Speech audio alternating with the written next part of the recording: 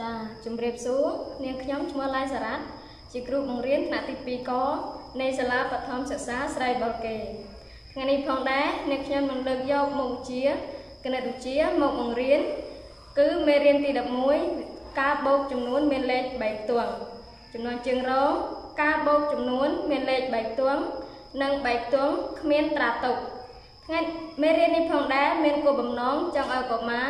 មានបំណិនក្នុងការបូកចំនួនមានលេខ3ផ្ទាំង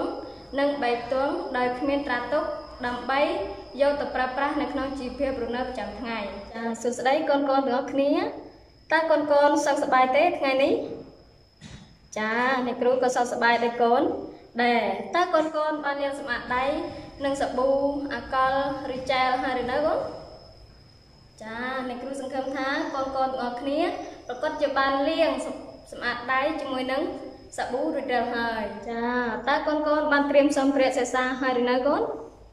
ចាសម្ភារៈសិក្សាហ្នឹងមានដូចជាសិភៅសរសេរខ្មៅដៃជាលុបហ្វឺតដៃសហើយអ្វីដែលខ្ញុំបានហ្នឹងគឺជាសិភៅសិក្សាភាសាគោលគឺគណិតវិទ្យាណាកូនចាអ្នកគ្រូសង្ឃឹមថាកូនកូនបានដាក់សម្ភារៈសិក្សានៅក្បែរខ្លួនរួចរាល់ហើយ អញ្ចឹងកូនអាចត្រៀមរៀនជាមួយនៅអ្នកគ្រូបានតែមុននឹងចូលដល់មេរៀនអ្នកគ្រូរំលឹកមេរៀនកាលពីថ្ងៃមុនតើកូនចាំបានទេថាតើអ្នកគ្រូបានដាក់កិច្ចការអីឲ្យកូនធ្វើចាគឺលំហាត់មែនទេកូនចាឥឡូវកូនយកសិភៅកិច្ចការទេរបស់កូនមកដើម្បីយកមកទៀងទាត់ចម្លើយជាមួយនឹងអ្នកគ្រូនៅលើក្តារខៀន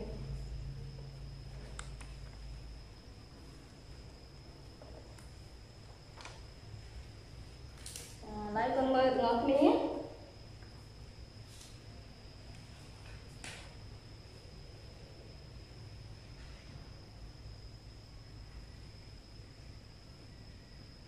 ខំ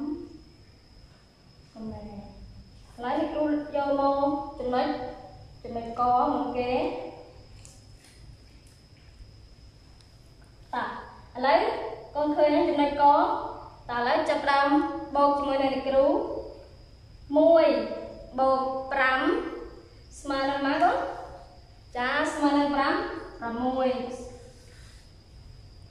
2បូក2ស្មើម៉ាដែរកូនចាស្មើនឹងនឹង4 2គ្មានអ្វីបូកតើធ្វើម៉េចកូនចា2គ្មានអ្វីបូកគឺត្រូវទម្លាក់ទម្លាក់ចោលចាឃើញ245 6ឥឡូវកូនយកចំណុចរបស់អ្នកគ្រូទៅទៀមទាត់ជាមួយនឹងកិច្ចការទៀតរបស់កូនថាតើដូចគ្នាដែរទេកូន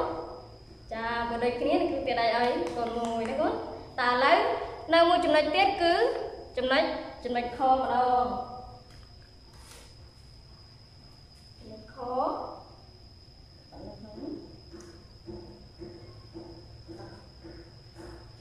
ឡូវធ្វើមើលចំណុចខមួយទៀតកូនតើ 5បូក2ស្មើម៉ាកូនចា5បូក2ស្មើនឹង5 7 4បូក4ស្មើម៉ាកូនចាកូនកូនស្មើនឹង5 8ចុះ3ទៅវិញកូនចា3នេះគឺត្រូវទម្លាក់ទម្លាក់ចោលឃើញ385 7តើត្រូវនឹងកិច្ចការទេបកូនទេកូនចា កូនបកូនធ្វើបានត្រឹមត្រូវអ្នកគ្រូទេដៃអាចារ្យឲ្យកូនមួយទៀតចាបកែមែនតើឥឡូវកូនអាចទៀមកូនទៀមទឹកជាមួយនឹងចម្លើយរបស់អ្នកគ្រូហើយតើឥឡូវវេលអារម្មណ៍មកមើលចំណងជើងរបស់ខ្ញុំវិញណាគឺការបូកចំនួនមានលេខ3ទល់និង3ទល់ដោយគ្មានត្រាត្រាទុកចាមុននឹងចូលដល់មេរៀននេះអ្នកគ្រូចង់ឲ្យកូនទាំងគ្នា នៅឲ្យស្ងៀម ហើយយកចិត្តទុកដាក់ស្ដាប់អ្នកគ្រូពេញបញ្យល់តើឥឡូវអ្នកគ្រូមានប្រធានចំណត់មួយតែអ្នកគ្រូអត់បានសរសេរនៅលើក្តារខៀនទេអ្នកគ្រូនិយាយណាកូនតើយាយបូណាលក់ផ្លែប៉ោមអស់ចំនួន134ផ្លែ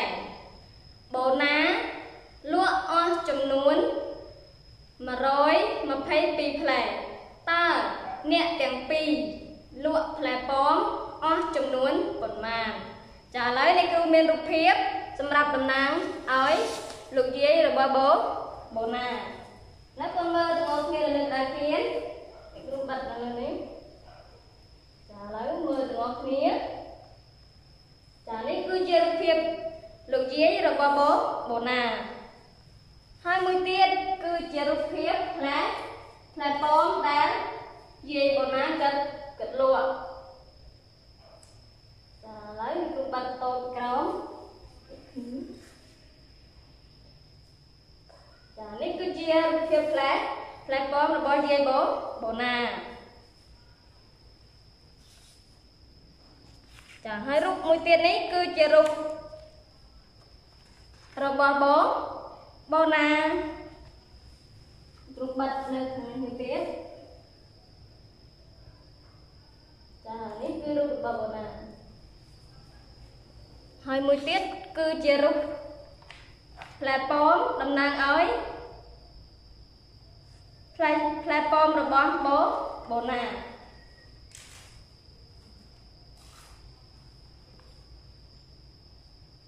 ចាឥឡូវមើលទាំងអស់គ្នា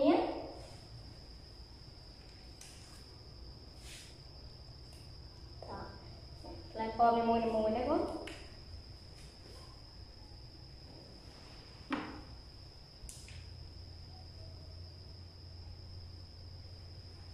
134ផ្លែ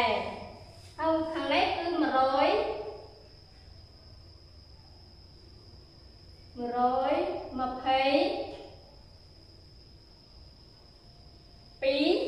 4ផ្លែឥឡូវកូនសង្កេតមើលប្រធានរូបភាពឬក៏ចំ ណតនេះទាំងអស់គ្នាថាតើគួរធ្វើប្រមាណវិធីអីគេបងចាឥឡូវដើម្បីកាន់តែច្បាស់អ្នកគ្រូនឹងអានប្រធានចំណត់ម្ដងទៀតឲ្យកូនស្ដាប់ណាបងឥឡូវយាយរបស់បូណាលក់ផ្លែប៉ោមអស់ចំនួន134ផ្លែចំណែកបូណាលក់ផ្លែប៉ោមអស់ចំនួន122ពីផ្លែតើ អ្នកទាំងពីរលក់ផ្លែប៉ោមអស់ចំនួនប៉ុន្មានប៉ុន្មានផ្លែឥឡូវកូនសាកមើលមើលថាតើអស់ចំនួនប៉ុន្មានផ្លែកូនកូនអាចធ្វើដោយខ្លួនឯងហើយកត់ចម្លើយនៅទុកនៅកន្លែងណាមួយដើម្បីផ្ទៀងគិតថាតើចម្លើយបង្គោលនិងចម្លើយដែលអ្នកគ្រូនឹងដូចគ្នាដែរទេតើឥឡូវកូនបានកត់ចម្លើយទុកនៅកន្លែងណាមួយហើយមែនទេកូន តើឥឡូវនេះកាន់តែច្បាស់អ្នកគ្រូនឹងមាន ជាបន្ទះការ៉េ100សម្រាប់តំណាងឲ្យលេខជាមួយជាមួយណាកូនឥឡូវនេះគឺជាបន្ទះការ៉េ100តំណាងឲ្យ1 100គ្រូបាត់នៅកន្លែងនេះតំណាងឲ្យ100ជា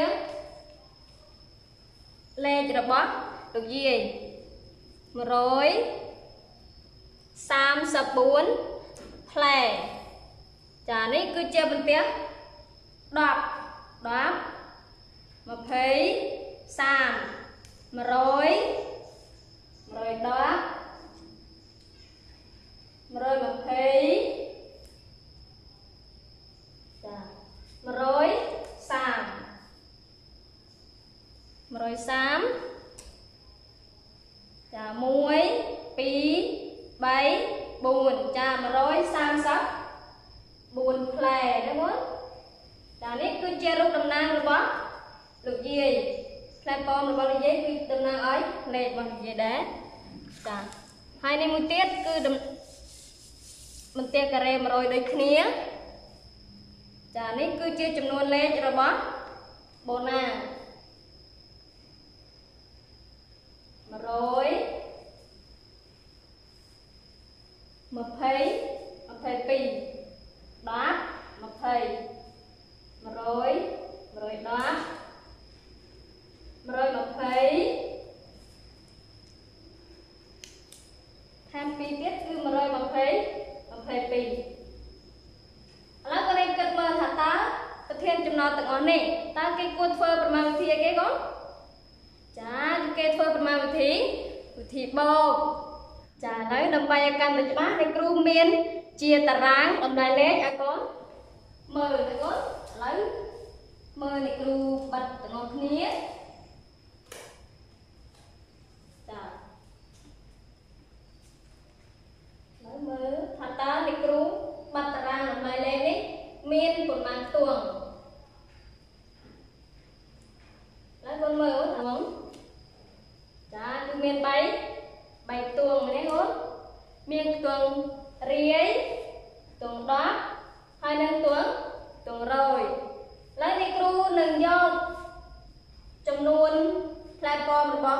យាយបូណាហើយនឹងចំនួនផ្លែពណ៌របស់បូណាមករៀបដាក់នៅតាមខ្ទង់នីមួយនីមួយចាឥឡូវមើលទាំងអស់គ្នានេះចំនួនផ្លែពណ៌របស់លោកយាយមាន134ផ្លែចាឥឡូវអ្នកគ្រូនឹងយកមករៀបនៅតាមខ្ទង់នីមួយនីមួយតើឥឡូវលេខ4ដាក់នៅខ្ទង់ទង្រាយចា បន្តមកទៀតលេខ3ដាក់នៅខ្ទង់គេកូនចាដាក់នៅខ្ទង់ខ្ទង់10លេខ1ដាក់នៅខ្ទង់ទង្រួយនេះគេហៅថាជួរបូកទីទី1ជួរបូកទី1មានចំនួន134 34ណាកូនឥឡូវបូកជាមួយនឹងចំនួនបូកបូកជាមួយនឹងចំនួនរបស់ណាគេកូនចាចំនួនរបស់បូណាបូកចំនួន122 2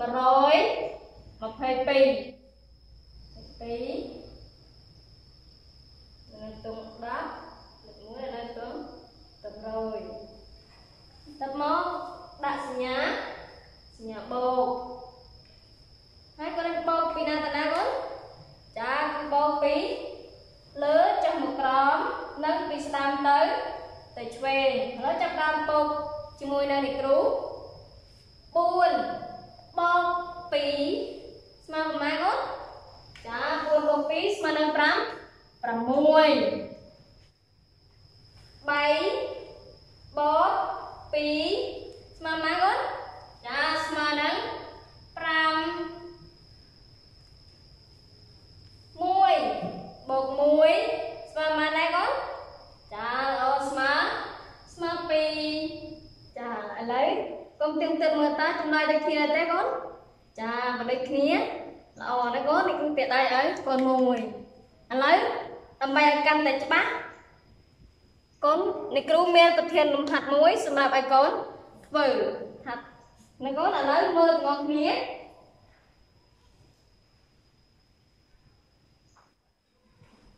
បាទកូនឯងដកដាច់ឈ្មោះមកបើអត់មានដាច់ឈ្មោះគេដកសភៅព្រាងមកហើយធ្វើលំហាត់នេះទាំងអស់គ្នាណាកូនតើនេះគ្រូទុករយៈពេលឲ្យកូន2នេះ នាទីចាប់ផ្ដើម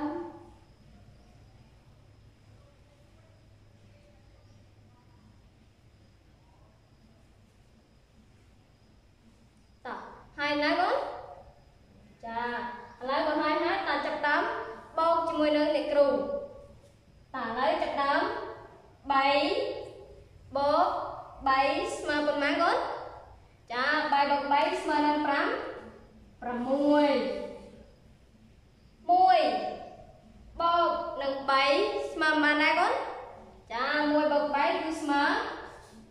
ស្មើ4 4បូក5ស្មើប៉ុន្មានកូនចា4មក5ស្មើនឹង5 9ចាឃើញមកអូនឃើញ945 6តើឥឡូវទៀមទឹកចំណុចមួយនៅនៃគ្រូថាតើដូចគ្នាហើយឬនៅកូន ចាបើដូចគ្នានៃគ្រូនឹងពាក្យដៃអស់ចាយកូនមួយណាកូន1 2 3 1 2 3អស់ចាចាឥឡូវនៃគ្រូសំសួររំលឹកមួយថាតើថ្ងៃនេះអ្នកគ្រូនឹងរៀនពីមេរៀនអីគេកូនចាអ្នកគ្រូរៀនពីមេរៀនការបូកចំនួនមានលេខបែកទួងនិងបែកទួងគ្មានត្រា ត្រាតូកចាមេរៀនរបស់អ្នកគ្រូត្រូវបានបញ្ចប់ តែមុននឹងបញ្ចប់អ្នកគ្រូមានជាកិច្ចការផ្ទះឲ្យកូនធ្វើណាកូនឥឡូវកូនយកសិភៅគាត់កិច្ចការផ្ទះទាំងអស់គ្នាឥឡូវមើលក្តារគ្នាណាកូនកិច្ចការផ្ទះ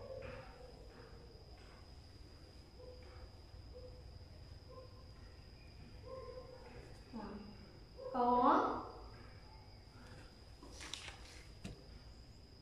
234បូកជាមួយនឹង162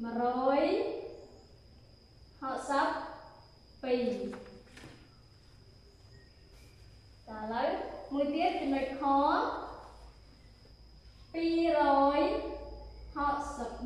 264 បូកជាមួយនឹង300 20 2